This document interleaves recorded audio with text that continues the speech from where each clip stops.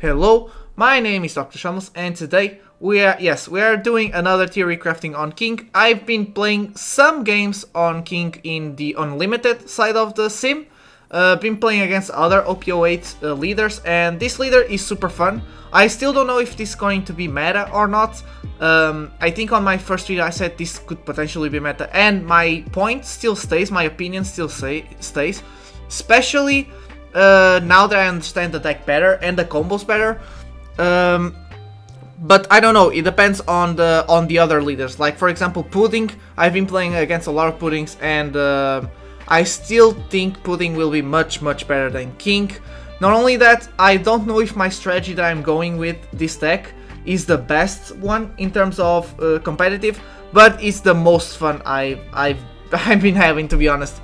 So yeah, so I'm just gonna try and explain why this deck list feels so good uh, and why I'm in really enjoying playing it uh, from time to time. So first of all, my strategy here is trying to ramp up to 10 DON as fast as I can and then dropping the Kuzan and after that we start playing the game. Uh, so early game, the weakness is early game, if you take a lot of uh, hits, um, then when you once you drop the Kuzan, which is the card we're looking for, uh, you you are going to be struggling. So this deck has a lot of 2k counters and a lot of blockers to try and make us survive that. Not only that, this deck has the Queen, which is the MVP here, uh, which pretty much cycles your hand, and Sabo, but Sabo I'm only playing 3. I thought 4 was the way to go, but to be honest, his draw 2, discard 2 is not that good, uh, especially early game. Late game, yes. Early game, no. so yeah, I think 3 is doing fine. But yeah, pretty much we use these cards to cycle out as well as the searcher. We use the these cards to cycle out the, the hand and search for the pieces that we want. And hopefully we are in a comfortable life to drop the Kuzan. And after that, it's when I start playing the game. So this is a slow deck. And if I get my pieces together, it's an unbeatable deck. um, but yeah, it's I will admit it's a bit hard to come by the hold the pieces with consistency while surviving uh, enemy hits and enemy strategies. So yeah, let's go now for the my reasoning over every single card. First card is the Skink. Now, people really enjoy to play this one instead of the 7 Drop King, they prefer the 6 Drop King. Uh, many people that are theory crafting on this deck uh, are just showing this card. I think people are somewhat uh, sleeping on this king. My strategy involves a lot of ramping and then playing the game. Some people other uh, in theory crafting are explaining that their strategy is not so much as ramping, but pretty much trying to survive still uh, do, uh, till they finally get to 10 DON. So they don't try to rush as much as the DON, but they try to survive and eventually get to the DON that they need to drop their pieces. So yeah, uh, that could be uh, one of the reasons why they're playing this king. This king is better if you're not uh, rushing to ramp up the cards. But once you're at 10, this card just becomes your Lucci. Um, not only that is a Lucci, but it is a very big body to put out. So it's very hard for people to remove it. Um, so yeah, I'm really enjoying to play four of him. Uh, I four of Kuzan and four of King is uh, can be somewhat bricky, but I'm not gonna lie. If you're playing three of each, the hand can become less brick. The hands can become less bricky, but you will not combine the pieces that you want uh, that easily. So I'm playing just four of each. Next is Basil Hawkins. Not many people are playing this card. Uh, people obviously like like to play Bon Clay. The only reason why I'm playing this card is uh, because he is searchable. He has Animal Kingdom Pirates, and you can play, uh, you can search him with this event. So he's searchable. Not only that, if we get him in the lives, we can play a trigger. But um, I don't prioritize playing him, you know, unless I have better things to, don't have better things to play. I don't play him from hand. I play him from life or use him as a 1k. So he helps me survive till I get to late game and when I start playing the game. Most of the time it's like that, so yeah. But it's actually a pretty good addition. From time to time you make a swing with him onto other searchers that people attached on. So yeah, that, that's, that's, he does not have much more utility besides getting lucky and being a 1-2k uh, counter. Like getting lucky from lives and playing him. It's just really a replacement, but it's really good because it prevents with my event to not whiff in my searches. So that's why I decided to play him. Uh, Kid is a very good uh, card here. I was playing 3 uh, of Kid and 4 Sabos. But again, because I realized that Sabo on early and mid game, dropping him, uh, draw 2 and discard 2 is not that good. Because you need to have a hand size, healthy hand size to have 2Ks in hand. So you survive early game and then late game you start playing the game. So yeah. So I decided to go 4 Kids and uh, 3 Sabos. This Kid is really nice because pretty much if you get uh, Onigashima, which is a card you're looking early game, you can play this guy as soon as you drop on 5 and then use your leader ability, which most of the time will be live, where you can just take away 2 DON and then uh, draw a card. So you're keeping your hand size somewhat small, you're still looking for your pieces uh, to you know, to pretty much late game just destroy your opponent. And this kid will give you one DON back, and then Onigashima will give you the, the next DON that you would use. So this pretty much, obviously, it will still delay your ramping up to 10, but it's really nice because at least you're not going down on DON. And only that, if you're not seeing Kuzan uh, early or like early mid uh, game with draws, uh, you can do this much easier so you can start drawing and start uh, cycling out the deck to see the Kuzan. Next is Kamazo. Kamazo is here because it's a 2k counter and he has a combo with Moria and one-legged soldier. Pretty much you can play Moria, Moria will be playing uh, Kamazo and one-legged soldier from your trash and then what you can do is you use your leader ability no sorry you use your one-legged soldier so you activate main give someone minus 3 and then you just activate your leader ability, taking away 2 DON, and you you can either draw a card or minusing uh, 2 cost on someone. Most of the time it's uh, minusing the cost. And because you return DON, Kamazo will uh, drop, will just kill a body. This, by the way, if you are late game and you have Kuzan and you drop King while Kamazo is on the play, you're dropping three cards from the body, the from the field. Sorry, F three bodies from the field, and this has happened a lot, especially with pudding, and I really enjoy it. So yeah, um, sorry. So that's his use, but he has really good use as well as 2k counter. That's really nice. That's why I'm actually running the Moria tech, but I'll get to that. Next is Black Maria. I think, in my opinion, Black Maria will have a better use on Pudding, probably. Because on Pudding, I believe Pudding will have uh, more... It's more viable for you to play the new uh, Kaido and Linlin card, uh, the 10 drop. So pretty much when you swing, you, you take away all your DON and then you you destroy all cards on the field, as well as taking away all your DON.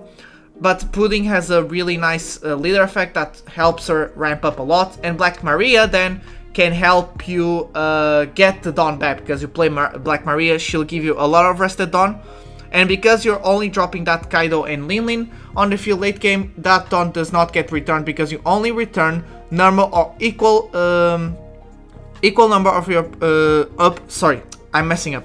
You return DON to the field once you pass turn uh, to um, to make your DON equal to your opponent, but because you're on late game, you probably will not be returning any DON, so you just keep the 5 rested DON. So it's a really good way to ramp back up. With this kid, uh, Black Maria does not have that much use, so I'm only using her as a 2k counter that is searchable with the event. Uh, still very good, and if I really want to just ramp up some DON, I can just do it. So yeah, but most of the time I'm using her as a 2k. Next is Rush Kaido. Uh, again, Kaido and Linlin could be a replacement for this, but I don't think so. I don't think you're going to use it on King. I think the this Rush Kaido is much better. It's, it's just a tech card. Most of the time I like to play a bit slower with the deck, so I'm playing with the Kuzans and King, like I said. And from time to time I can just drop this Kaido, and yeah, like, again, we're taking it slow, but the Rush and the KO really helps, but I think it's just a tech card. Next is Queen, he's the MVP of the deck pretty much you uh, you want to drop him mid, literally mid game uh, with Kid, so you, Kid helps you with DON, and Queen just keeps, keeps your hand size very healthy, as well as searching and cycling uh, for the pieces that you want to do on late game. So yeah, he's really nice, he's searchable thanks to the event. Uh, he's a blocker. Uh, he's a really good uh, body and a really good card. And I think he's a very he's very staple. Unfortunately, I know the the deck is very expensive with the cards that you guys are seeing here, but I, I'm I must admit this is a staple for this king. Next is the Kuzan. I already told you your stra my strategy at least revolves uh, around the Kuzan. You dropping the Kuzan and then starting to just KO anybody on the field um, and then slowly taking away um, the lives of your opponent. Uh, I'm, I haven't tried this strategy yet because Unlimited has been not that active now, but I really want to try to starve the enemy as much as possible. I want to take that uh, that ability to the extreme. I don't know how healthy the other leaders on OP08 can can keep their hand size. But if they struggle, maybe going with um, with the starve and not swinging with leader and just playing board and uh, trying to cycle out your hand maybe be the the play and then slowly you can just make swings with Kuzan which will connect onto lives so yeah, that's I think that I haven't tried that for some reason. I I'm just having fun with the deck, so I was always swinging with leader, and from time to time, obviously the opponent would take the life. But maybe just going from the for the extreme starve maybe works. Oh my god. Sorry, my lamp almost fell. So yeah, uh, your strategy really relies uh, on Kuzan. I think he's going to be a staple, unfortunately, as well. He's very expensive. But again, if you drop one of them, it's really good. If you're comfortable enough to drop the second, I think it's unnecessary, but there's some times that I'm so comfortable that I drop the second. And that's pretty much you just KOing everybody away, so yeah.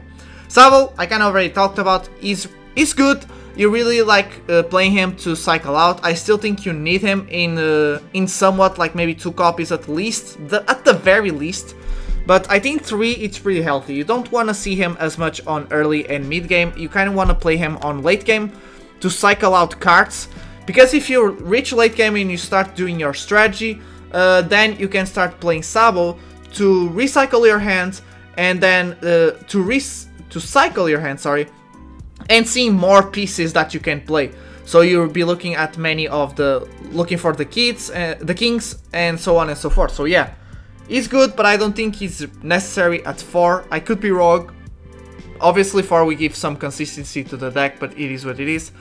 One Leg Soldier, this is being played because of the Moria tech. Uh, you can play Tsuru, Tsuru is uh, more on on-play effects.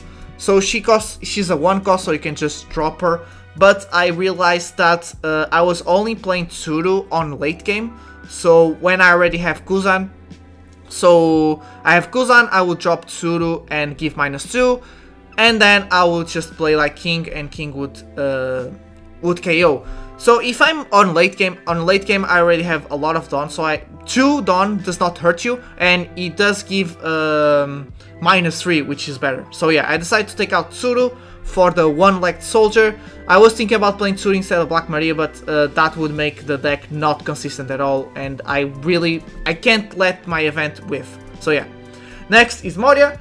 Uh, some people really enjoy playing Moria at 3, some are theory crafting on playing Moria at 4. I think, I'm sorry, I don't think Moria is that necessary for this whole strategy. Uh, I decided to uh, to add two copies because I believe it's good tech. I will admit it's really good tech when you're um, when you're making the combo with Kamazo and one leg soldier. I'll give that, but I don't think you should be reliant too much on Moria. I think Kuzan should be the most card that you're reliant on. Uh, so yeah, I I just decided to to do that. And so at 2, it's pretty nice. You're not looking for it you're just you can uh, comfortably just use Kamazo and one-legged soldier as 2k counters and once you see Gecko Moria you can play and just do the combo.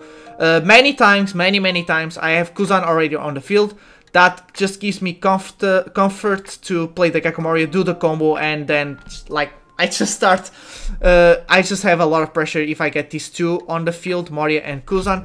But yeah, I don't think people should I think many people are actually agreeing with me on this. I'm seeing a lot of videos and people are usually playing 3 now on Moria, but many many comments are saying that they don't think that Moria is the way to go. You can definitely play without this combo, but I will admit this combo feels really good and it's really fun and it's nice uh, if you can pull it off. Again, if you can pull off the strategy that I'm going here, this deck is invisible. Nobody stays on the field and you every swing that you do onto the enemy, they either have to block or just take the life. So it's really nice. So I decided to try the deck and it does really well. I think two Morias is enough. Next is only one Jack. Um, I was playing more of him, uh, he's searchable with the event, but to be honest, because you're playing King and you're playing Kamazo, uh, you could eventually just take him away and maybe play uh, Gum Gum Jet Gatling uh, or maybe the other Sabo, but from time to time he's a really uh, nice body that once you play him, you can play him on mid game by the way, uh, as soon as you uh, reach uh, 7 don, so if you manage to ramp up, you can play him and start using his ability to cycle out cards and, um, and KOing blockers. Because it KOs 3 or, or, lower, so you can KO a lot of blockers that are uh, from early game. So yeah, it's really nice. But I think having two will make this deck too breaky. So the one, it's fine. Besides, thanks to Queen, Sabo, and the event. Sorry if you guys hear the sirens. You, we are, we will be cycling out a lot of cards easily. So yeah, this card will come to my hand. Uh, I just feel bad every time I have to discard it. Uh, because, you know, there's times that I need to survive. So I'm using Jet, Jet Gatling and just discarding this card. But yeah, if you can manage to, once again, like, you have Kuzan, you have a lot of cards that just have insane chemistry. Kuzan, this is one of them, so if you can manage to play it, it's nice. But I'm really not reliant on it. I'm more reliant on King, Kuzan, and Kamazo uh, play. Like, you can hard play Kamazo, by the way. I usually like to just use it as 2k counter. And then once I have the opportunity with Moria. But you can hard play it, and then you have good chemistry with these two and Kuzan pretty much just KOing three bodies at a time. But this is a good tech. Next is Gum Gum Jet Gatling. Uh, we're playing a, a, lot of blockers and a lot of 2Ks, but just having these two just in case we need. I mean, we are playing what? Uh, 4, 8, 8, um, that's 12, 12, that's 13, 13, and let's just put this. 13 plus 4, that's 17 cards that are 17, okay, for 21 cards that are probably brick. Thankfully with the cycle, this 21 brick cards are not as bad, but you can make adjustments around it. So yeah, Jet Gatling just helps me a lot dealing with that brick, and I'm only playing two because I think I think that's the space you have for it. Again, you can take Jack and just play a third. That's some uh, way to do it. That's nice. But I don't know, I this is has been working, so I'm just gonna leave it at this. Next is 4. Uh, we are going to claim the One Piece. The reason why I'm playing 4 of the events and not 4 of the Queen, of the Black Queen Searcher that's coming out, is because the Queen cannot search itself, so this Queen and this event is um, can search everything. So uh, it's much better, so I decided, you know what, I'm just gonna do this. Pretty much, I would compare this situation to the situation of Red Purple Law in OP05. I was playing uh, three uh, Searcher Laws at the time. Let me just show you. This one, the Searcher Law, every time you attack, if you have left, uh, less stun than your opponent, you search for a Heart Pirates. But then, um, but then uh, it was it came to my attention that this when you're at Sea of Fight Pirates, was much better because it lets you uh, pick up the Kid Blocker, it lets you pick up all your Heart Pirates and the Zorojuro in case you were playing it. So yeah, it, it's the same situation. Um, but if you want, you can still try. I would still advise to try and play four of these events and maybe two of this queen. You can take like, again, you can take away the Moria and just try to play more for the Animal Kingdom pirates. But yeah, and next is the uh, Donigashima. I'm seeing a lot of people play three of these. Yes, you... Oh, I accidentally... Sorry. I accidentally took... I'm uh, seeing a lot of people playing uh, four of these. Uh, three of these, sorry. I'm playing four because, again, I'm not looking for the most competitive strategy. Although this is feeling... Actually doing really good. Uh, I just trying to get to late game, so having 8 cards of pure ramp, then you have the jump gatling, if case you have the trigger as well, uh, just helps, uh, so yeah, but Onigashima, uh, least of the least, I should take away Hawkins and play uh, something else, maybe this one, Sasaki, So maybe take away Hawkins and play Sasaki, uh, having even more defense, and then just leaving uh, the 4 Onigashima uh, as the the this is still the main way of you to ramp, so yeah. But people uh, don't like to play as many bricks as I do. I'm just playing as many of these bricks because, again, Queen, Sabo, and this Jack really help you uh, just cycling out the card. So you don't really feel bricky. Um, so yeah, but Onigashima, I think it's a must on 4. You really need to see it early game to get your strategy going. If not, you need to have the event, then use the event, and if you see one, you um, you just grab it and start ramping up. Then pretty much every time you use Jack ability, guess what? You're going to be discarding the, the, the other ones that you have. Queen, same thing. Sabo, same thing. So yeah. Uh, so it's really good cycling out. This deck has no problem cycling out the bricks. Uh, the only problem I see it's surviving till you have 10 DON. That's the biggest problem I see with the deck. But I still think it's very viable. Um, I'm just making this video to put out there my thoughts. I'm not, again, I'm gonna say, uh, this, this deck list and my thoughts are done by researching other videos from other people and seeing some gameplay that the East is already testing for, as well as doing some testing myself, so I'm just doing what it's more fun for me and what feels better for me. But this will probably not be the most competitive uh, build that you have, it's just one that's really fun. Thank you so much for watching. I really appreciate, as always, if you stay till the end of the video. Please do tell me in the comments what you guys think of this leader, what you think the strategy will be. If you guys agree with this uh, or the strategy I went for with uh, the extra Hawkins for the searchable uh, ramp up, uh, you guys can tell me whatever. You guys can tell me to just drop this and Bon Clay. I Oh, just to finish that, actually. I'm not playing Bon Clay and uh, instead of Hawkins. Not only is Hawkins searchable, but Bon Clay, it's good for the ramp up. But uh, you really don't need Bon Clay to copy anybody's power on the enemy field. Like, you have really big bodies that will just make really big swings. So Bon Clay most of the time just stays there and it's just a ramp up, you know. And then people just take him away. So yeah, it, it I was getting more value uh, with Hawkins actually. So yeah, thank you so much. Uh, like and subscribe if you enjoyed the video. Once again, I'm gonna ask you to leave in the comments the thoughts on this leader and this deck list. What have you guys been building? Maybe you guys have been trying out the king as well. I, I'm really intrigued by this leader. I still think it's too expensive for my for me for my taste not not my taste but for me I don't have that much money. Because of Kuzan Sabo Moria uh, the rest is actually pretty affordable. I already have some cards here. Queen is also very uh, expensive but I already have the Queen so that's nice. But yeah Goodbye.